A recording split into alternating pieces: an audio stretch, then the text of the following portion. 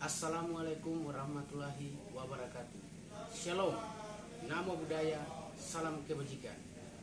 Saya Hans Mendaku, Kepala Seksi Pemerintahan Pemerintah Negeri Piru, menghimbau masyarakat untuk bersama-sama mensukseskan Pilkades serentak tahun 2020 guna menciptakan situasi Kantipnas yang aman, damai, dan sejuk menuju Indonesia rukun.